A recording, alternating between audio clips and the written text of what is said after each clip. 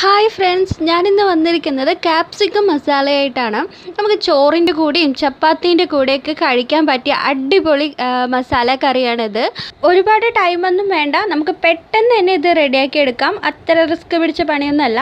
അപ്പോൾ നമുക്കിത് എങ്ങനെയാണ് റെഡിയാക്കാമെന്ന് നോക്കാം. അതിനായിട്ട് ഞാനിവിടെ ചീരഞ്ചട്ടി എടുത്തിട്ടുണ്ട്. അതിലേക്ക് കുറച്ച് ഓയിൽ ഒഴിച്ച് കൊടുത്തിട്ടുണ്ട്. ഓയിൽ നന്നായിട്ട് ചൂടായി വരുമ്പോൾ നമുക്ക് അതിലോട്ട് ഒരു ചെറിയൊരു പീസ് കറുവപ്പട്ടയാണ് ഇവിടെ ആഡ് ചെയ്ത് കൊടുക്കുന്നത്. കറുവപ്പട്ട ആഡ് ചെയ്തതിന് ശേഷം ഞാനിവിടെ ആഡ് ചെയ്യുന്നത് പെരിഞ്ചീരകമാണ്. നമ്മൾ മസാലക്കറി വെക്കുമ്പോൾ പെരിഞ്ജീരകം ഇടുന്നത് ഒരു പ്രത്യേക ടേസ്റ്റ് ആയിരിക്കും. പെരിഞ്ജീരകമൊക്കെ എണ്ണയിലിട്ടിട്ട് നന്നായിട്ടൊന്ന് മൂത്ത് വരുമ്പോൾ നമുക്ക് ഇതിലോട്ട് സവോള ആഡ് ചെയ്ത് കൊടുക്കാം. സവോള ഞാൻ ചെറുതാക്കി അരിഞ്ഞിട്ട് ഒന്ന് ഗ്രേറ്റ് ചെയ്തെടുത്തിട്ടുണ്ട് ഒരുപാട് അങ്ങോട്ട് നമുക്ക് പേസ്റ്റ് പോലെ ഒന്നും ആക്കണ്ട. ഇതുപോലെ ചെയ്തെടുത്താൽ മതി. ജസ്റ്റ് ഇതൊന്ന് എണ്ണയിലിട്ടിട്ട് നന്നായിട്ടൊന്ന് വഴറ്റിയെടുക്കണം ആ, അതൊരു ഒരു കളർ ചേഞ്ച് ആവുന്ന വരെ നമുക്കൊന്ന് ജസ്റ്റ് ഒന്ന് വഴറ്റിയെടുക്കാം ഓക്കെ ഇതിപ്പോൾ സവോളയൊക്കെ നന്നായിട്ടൊന്ന് മൂത്ത് വന്നിട്ടുണ്ട്. നമുക്കിനി ഇതിലോട്ട് ആഡ് ചെയ്ത് കൊടുക്കുന്നത് ഇഞ്ചി വെളുത്തുള്ളി ഒന്ന് ചതച്ചെടുത്തതാണ്.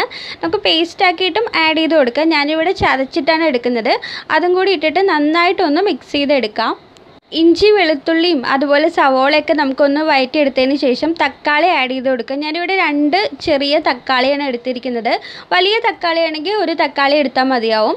ഇതും കൂടി നന്നായിട്ടൊന്ന് മിക്സ് ചെയ്തെടുക്കണം. ആ തക്കാളിയൊക്കെ ഒന്ന് വെന്ത് വരുന്നവരെ നമുക്കൊന്ന് വഴറ്റിയെടുക്കാം ഓക്കെ അപ്പോൾ നമ്മുടെ തക്കാളിയൊക്കെ നന്നായിട്ട് വെന്ത് വന്നിട്ടുണ്ട്. നമുക്കിനി ഇതിലോട്ട് മസാലകൾ ആഡ് ചെയ്ത് കൊടുക്കാം.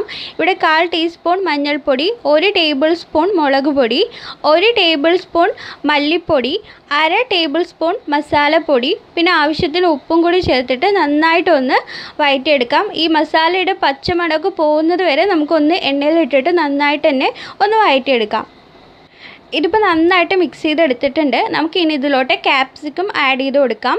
ക്യാപ്സിക്കം ആഡ് ചെയ്തതിന് ശേഷം ഇത് നന്നായിട്ടൊന്ന് മിക്സ് ചെയ്തെടുക്കണം. ആ മസാലയൊക്കെ ക്യാപ്സിക്കത്തിൽ പിടിക്കുന്ന വിധത്തിൽ നന്നായിട്ട് തന്നെ നമുക്കിതൊന്ന് മിക്സ് ചെയ്തെടുക്കാം.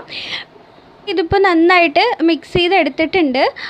നമുക്കിനി ഇതിലോട്ട് ഇത് വേകാൻ ആവശ്യമായിട്ടുള്ള വെള്ളം ആഡ് ചെയ്ത് കൊടുക്കാം. ഞാനിവിടെ ഒരു ഗ്ലാസ് വെള്ളമാണ് ആഡ് ചെയ്ത് കൊടുക്കുന്നത്. ദെൻ നമുക്കിത് മൂടി വെച്ചിട്ട് നന്നായിട്ടൊന്ന് വേവിച്ച് കൊടുക്കാം. ഓക്കെ ഇതിപ്പോൾ നന്നായിട്ട് വേവിച്ചെടുത്തിട്ടുണ്ട്. ഞാൻ ഇവിടെ ഒരു ഫിഫ്റ്റി മിനിറ്റ്സ് ഒക്കെ കുക്ക് ചെയ്തെടുത്താൽ മതി. പെട്ടെന്ന് തന്നെ ക്യാപ്സിക്കം റെഡിയായി കിട്ടും. ഇതിപ്പോൾ കറക്റ്റായിട്ടുണ്ട് നമുക്ക് ഒരുപാട് നന്നായിട്ട് ഡ്രൈ ആക്കണമെങ്കിൽ കുറച്ചും കൂടി ഒന്ന് വഴറ്റിയെടുത്താൽ മതി. ഞാനിപ്പോൾ ഈ ഒരു രീതിയിലാണ് ചെയ്തെടുക്കുന്നത്. അപ്പോൾ ഇത്രയേ ഉള്ളൂ ക്യാപ്സിക്കം മസാല നമുക്ക് ചപ്പാത്തിന്റെ കൂടെയും ചോറിന്റെ കൂടെയൊക്കെ കഴിക്കാം. അപ്പോൾ ഒരുപാട് പണിയൊന്നുമില്ല. വളരെ സിമ്പിളായിട്ട് തന്നെ നമുക്കിത് റെഡിയാക്കി എടുക്കാൻ പറ്റും. അപ്പോൾ നമ്മുടെ ഇന്നത്തെ വീഡിയോ ഇത്രയേ ഉള്ളൂ. നിങ്ങൾക്ക് എല്ലാവർക്കും ഇഷ്ടമായെന്ന് വിചാരിക്കണം? അപ്പോൾ നമുക്കിനി മറ്റൊരു വീഡിയോ ആയിട്ട് കാണുന്നത് വരെ bye bye. Thanks for watching